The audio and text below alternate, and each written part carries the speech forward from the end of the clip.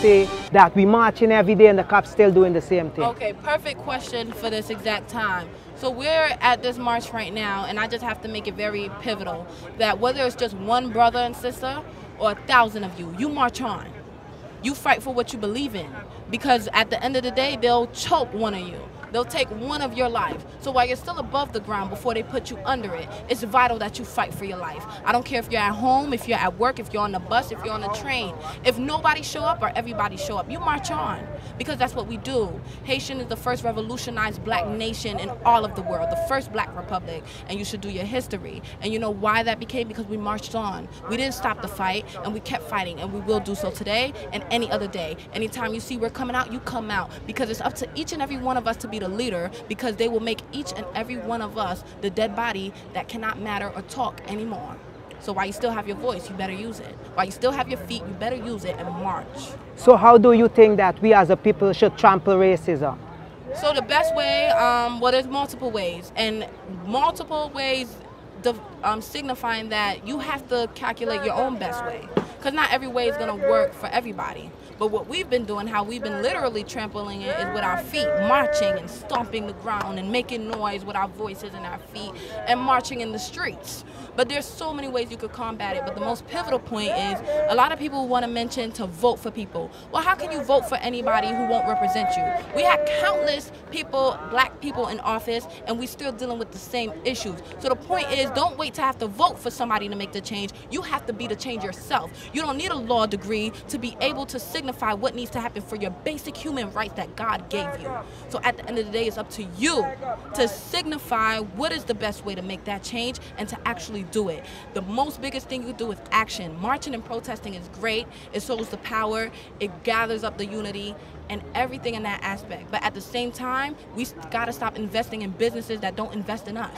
We got to stop investing in businesses that won't even invest in your funeral at the hands of police brutality or even each other's brutality. Because don't say black on black crime, because every community has crime by the same person that look at them. At the point you got to look at is the system and the environment that creates that crime to be harbored and to now rise up. We should be creating rehabilitation, not criminalization. We should be creating steps before you even get to the crime to where you wouldn't even need to commit it. You have to ask yourself, why do people rob? Why do people steal? You're hungry, you're gonna steal some food.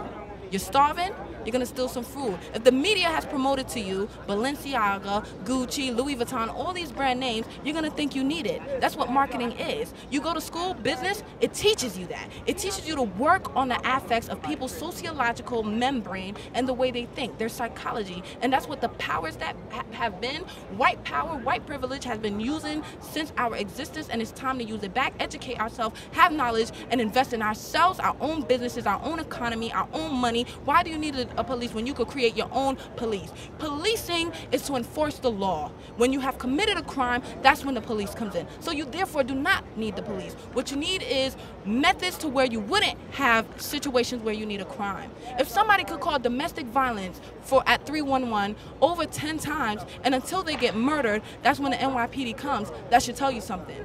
We need to intervene, we need to act, we need to look out for each other, and that's how you're supposed to live. Plants don't attack each other because they grow in harmony. We need to do the same, grow in harmony. And because of these marching, there's a lot of statues like Christopher Columbus. Other statues, they start tearing down. Do you think is the marches put effect on these statues to be removed? Of course, it's the because what makes the marches are the people. So whether you're marching collectively or you march on your own to the office, writing a letter, composing an email, they know what needs to be done. So sometimes it's not even the action that we're doing now because they've been knew it even before you did the action yourself because they created the action to make you have the reaction.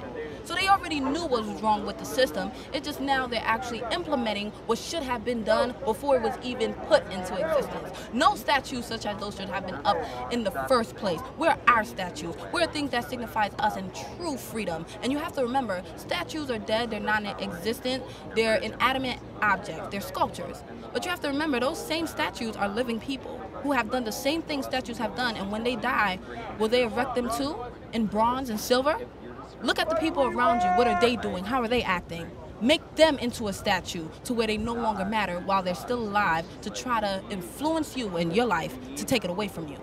So what message would you send to the people who don't believe in the things you are doing for them now, marching and fighting just because they lack of the knowledge, the lack of the history, and they're just home and they were just trying to say what you are doing, you can be successful. Right, right. What message would you send to them because they don't know what they're saying? Right, right. Well, what God ordains, what God puts in place, no man, no demon, no spirit can ever take under. And those aren't the exact wordings, those are my own words, but you know exactly what I'm talking about. And the point is, it's not for them, it's for us. It's for the people who are out here. And one thing I always new to keep in mind as long as I'm not doing anything destructive for you even if you want to look at the rioting and the looting there's way more of the marching the protesting and the fighting. And the reason why they're rioting and looting is that's their pain and anger being reflected just as they have been rioted and looted their whole life. And I don't need to tell you that to know that but you just want to ignorantly look at it in the way they have looked at it because you want to stay as a slave in chains.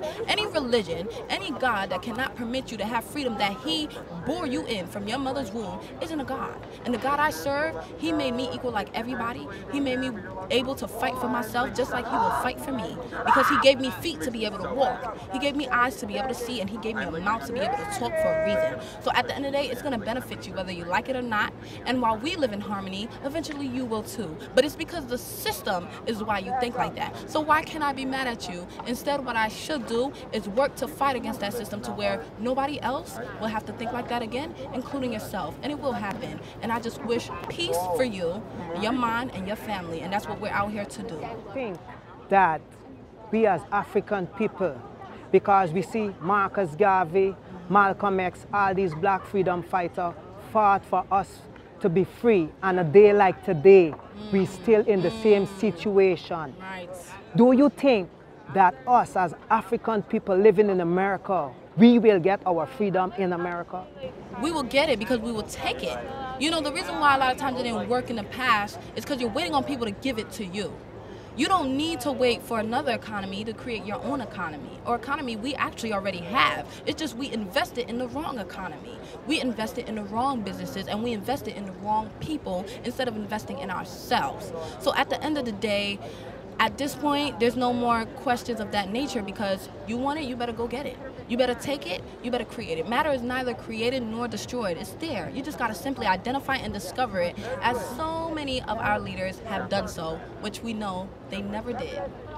So, you, as a young sister, as a young queen, as a young goddess, I salute to you. What message would you would send to the sister just like you to uplift them, spirit uplift their soul? Okay, well, because there's a lot of sister lost. Yes, and there's a lot of brothers lost. There's a lot of Thank people you. lost. Thank Many you. races are lost. But you know why we're lost is because we don't unify. We think we're differentiated or we're so different. But at the end of the day, we're all humans. And we're all subject to the susceptibility of being victim to a system, adversity, and all the negative things. But we also, in that same affect, can grow back and rear back to positivity. You see, there's two routes you could take in life. One may be the one that you plan for yourself. The other one may be the one God planned for you. But you're still able to choose and identify which one you want to tread on. But at the end of the day, you'll still end up at the point you're meant to be. So all there is to say to that at the end of the day, even me, I found out about the dates and historical, you know, events and all of that nature to where it's knowledge and it's factual and everything head on, head on, head on, just after doing one day, one minute, one hour of research. And I just retained the information. The Haitian flag, we got our revolution on January 1st, 1804. The Haitian flag was sewn in 1803. And I just, you know, learned that out of one day. Even though I've been Haitian my whole life, I learned that for myself. So at this point, look on the internet, talk to your brothers, come out here, talk to your sisters, open your mind. And even if you don't, we will open it for you because we're out here. Just listen and be a part of it. Do your part and you will get there. And don't be discouraged if you don't because we're here for you and we're here to help you learn. So at this point, everybody is for everyone. I am your neighbor next door that you can knock on and ask for sugar. Time to do it. Ask for the sweetness that we all have inside of, of us. Thank you. Some Haiti history. Yes, sir. See, you are from Haiti. Yes, sir. I am Haitian. Like I said, I'm out here. I'm Haitian every day. I'm, I'm out here, but I'm black.